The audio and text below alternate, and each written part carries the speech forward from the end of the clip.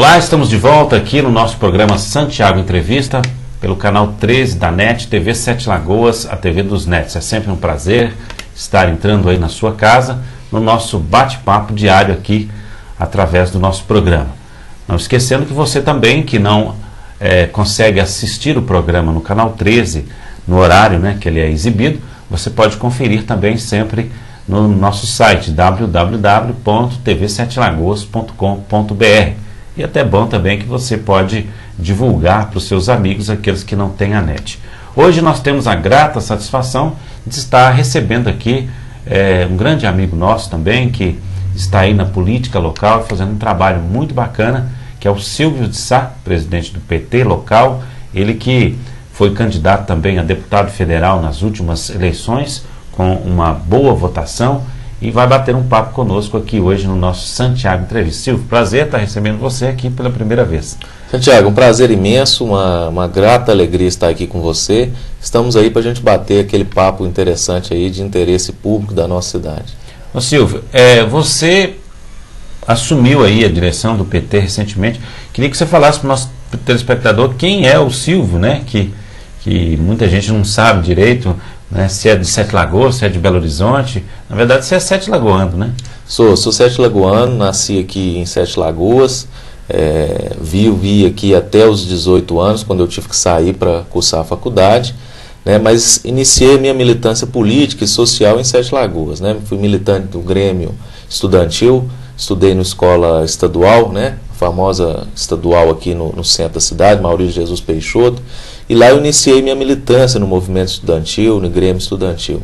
Ao ir para Belo Horizonte, eu não poderia deixar as tradições né, de luta estudantil. Me ingressei também na luta acadêmica, na luta dos movimentos sociais, e ingressei, fui presidente do diretório acadêmico do curso de Direito da PUC Minas.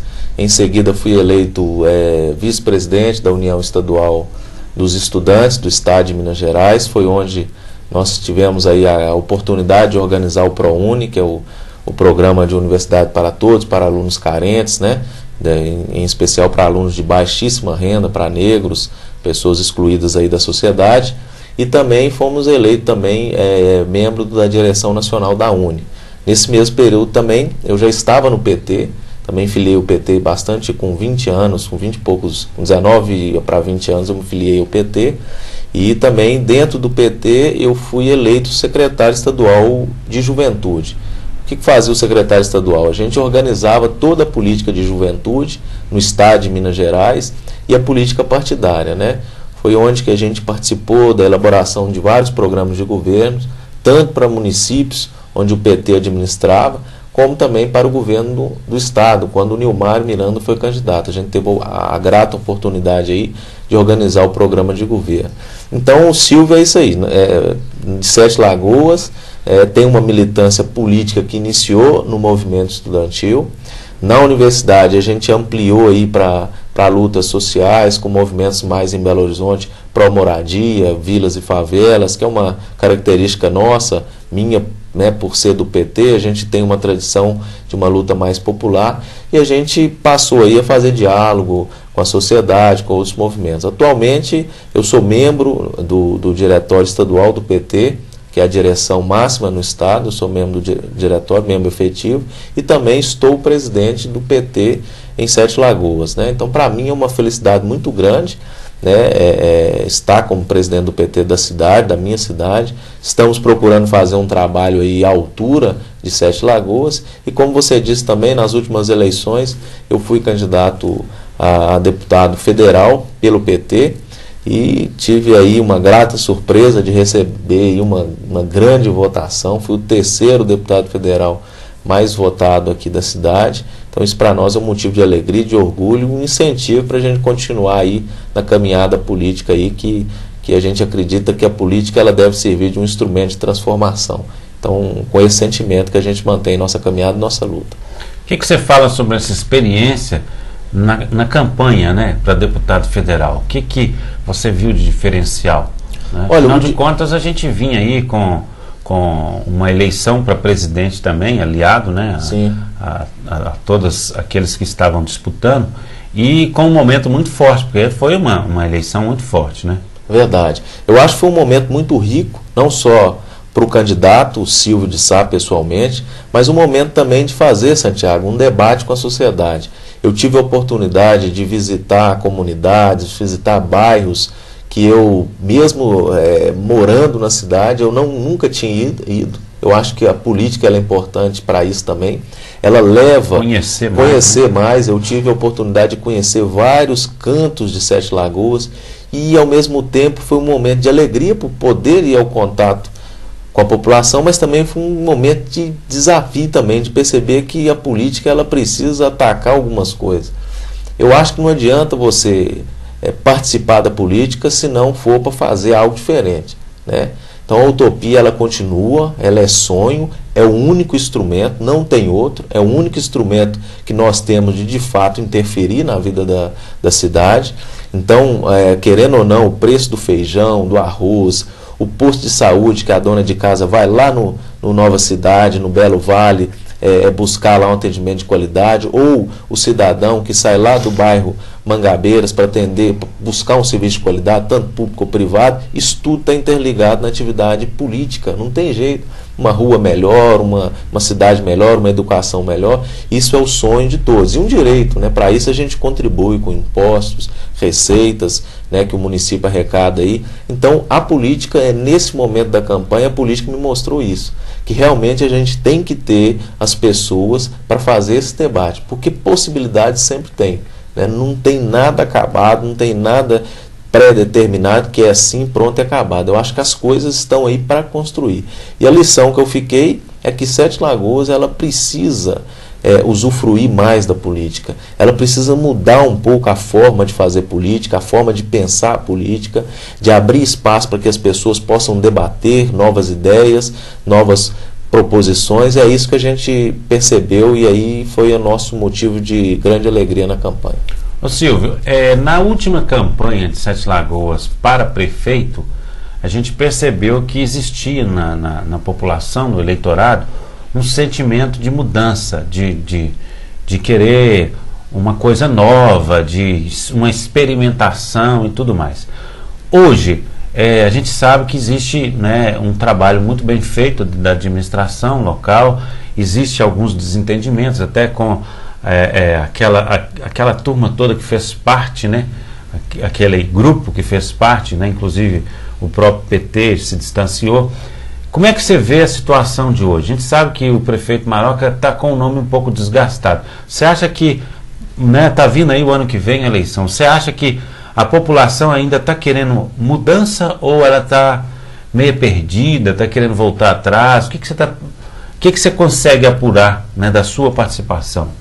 Eu acho que o sentimento que a gente convive aí um pouco com uh, os populares, as pessoas que a gente conversa, eu acho que de fato existe um clima na sociedade de, de Sete Lagoas, de um modo geral, de descontentamento e também existe um clima de ausência de esperança. Então aí que é meu medo, que eu fico mais temerário, né? Porque quando a pessoa perde a esperança na política, ela abre espaço para o que há de pior. Uhum. Né? Você tem que estar atento no eleitor, é, acho que é uma mensagem que eu gostaria de deixar aqui, que a gente nunca pode perder a esperança na política. Porque aquele voto, por exemplo, na, na, na, eleição nacional do Tiririca, é isso aí, né? Exatamente, é uma manifestação de falar assim, olha, é, esse trem não tem jeito, ou puto, vai nisso aqui mesmo. Só que aí. Porque tá, não tem é, como é, ficar. Pois é, então é uma situação ruim. Eu acho que aquela questão do, do Tiririca, a gente respeita, porque ele foi eleito, né? a gente respeita o voto do eleitor, mas é muito mais. Dificilmente ele terá a mesma votação na próxima eleição. Então acho que é um voto assim de do jeito que está, né, a situação ali crítica, e eu acho que é esse sentimento que você colocou muito bem, da gente perder a esperança na política e para a nossa cidade nós não podemos errar mais, sabe? Eu acho que a nossa cidade tem um orçamento que está crescendo, mas ao mesmo tempo tem um orçamento que está sendo muito mal explorado, daí um dos motivos da nossa crítica, né? a implementação das políticas aqui está muito aquém ao tamanho da cidade, Sete Lagoas hoje é uma cidade que está crescendo, tem alguns instrumentos favoráveis, que é a BR duplicada, né? proximidade de Belo Horizonte. Então é, é uma, uma cidade que atende aí a um parque industrial emergente, mas nós precisamos avançar mais. Nós precisamos pensar numa cidade que tenha qualificação para a nossa juventude. Por exemplo, tem indústria, mas não tem qualificação. Nós precisamos usar o poder da política para influenciar o governo federal a ter um Cefet, um IFET, para qualificar os nossos jovens, para ter política. Hoje a nossa juventude ela está se perdendo no mundo das drogas, principalmente do crack, que aqui em Santa Lagoa é uma questão terrível. Então nós precisamos de ter uma política mais, mais de humanização, uma política mais efetiva, e isso a gente precisa das pessoas. Eu brinco, Santiago, que não existe ainda um programa de governança. E não vai existir. O que é isso, um programa de governança? Você governar por computador. Não existe. Você vai ter que governar com pessoas, com seres humanos, que são pessoas falhas, que todo ser humano tem as suas limitações. Mas existem propostas que a gente precisa ser debatido. Então eu, eu chamo aí a atenção que nas próximas eleições, na ausência aí de perspectiva, nós temos que revigorar o nosso sentimento de luta. A gente tem que acreditar que é possível. Né? Existe aí, é, que a gente chama as virtudes teologais, que são as virtudes aí da teologia, que chama fé, esperança e caridade. E aí teve uma discussão entre os grandes teólogos qual a virtude seria a mais poderosa. Alguns disseram fé, a outra caridade, e eles chegaram à conclusão que era a esperança. Porque a esperança é a única coisa que vai, nos vai mover uhum. para mudar. Então a gente tem que ter, a cidade nossa tem as condições, e é isso que eu peço é, aos eleitores, aos cidadãos, cidadãs de Sete Lagoas, que fiquem atentos às propostas, aos programas. Mas não vota lá também e depois dá tchau, não. Vota e cobra, né? o preço do, do, do transporte coletivo, tudo isso passa por decisões políticas, o preço da, das taxas de água, né, de esgoto, tudo passa por decisões políticas, a política pública, tudo salário passa. Salário do servidor. Exatamente, o salário do servidor, dos professores, passa por questões políticas. Então aí a gente precisa estar atento a tudo isso aí. Ô Silvio, é, é uma provocação que eu vou fazer agora. A gente sabe que é, eu posso contar aqui cinco candidatos, pré-candidatos já que se fala na cidade e tudo. Né? É, na verdade, a maioria deles, né, tirando a questão do Maroca, que é um que está aí recente, né, mas aí ele cai na mesma situação, que é ou continuidade ou volta ao passado. Né? São pessoas, é, entre aspas, como se fosse figurinha, é, figurinha carimbada. Nós não temos nada de novo. Então, para que exista uma esperança na continuidade de mudança, precisaria de um novo candidato, alguém que nunca foi candidato a prefeito, que, que é jovem e tudo mais. Pensando nisso, você se colocaria à disposição o seu nome para uma discussão também de um provável candidato? Né? Porque né, a gente sabe que o PT hoje não tem é, é, nenhum candidato declarado, como, aliás, nenhum pré-candidato declarado. Mas você, como você veio como candidato a deputado federal, você se colocaria também à disposição o seu nome ou não? Olha, é uma coisa é consenso dentro do Partido dos Trabalhadores. A gente tem, e eu como presidente também sou firme nessa defesa, que a gente precisa fortalecer o nosso partido na cidade. A gente precisa crescer politicamente, porque só no discurso não dá. As pessoas não querem mais só discurso, elas querem ver a coisa prática. Então o PT nunca teve uma experiência de governança em Sete Lagoas. E a gente está trabalhando para viabilizar isso. É, eu costumo dizer que o PT deveria ter tido candidato nas últimas eleições para se fortalecer politicamente. Mas não teve. Eu acho que foi ruim, acho que foi um erro.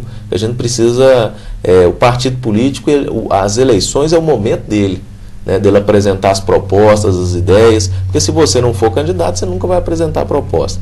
Então, é, foi ventilado, é, realmente as pessoas têm colocado o nosso nome pra, como um possível candidato, mas no PT existem outras pessoas também que a gente acha que é, é, podem estar e estão com certeza até mais qualificados do que a gente é, como por exemplo foi ventilado o nome até do padre Warlen, que seria um possível é, candidato, que tá, foi ventilado internamente dentro do PT. E eu acho que a minha missão hoje dentro do PT é buscar uma organicidade. A gente não vai fazer nada no escuro, mas a gente quer que nas próximas eleições o PT tenha presença, seja com o nome de A ou B, seja com o meu ou com o de outro, mas a gente quer que o PT tenha uma presença, né? se possível, na construção, na elaboração dos programas e das propostas. Esse é o nosso sonho que eu vou trabalhar para lutar isso. Eu acho que nós temos para contribuir, Santiago. Uhum. Acho que o PT tem, nós temos uma militância muito boa.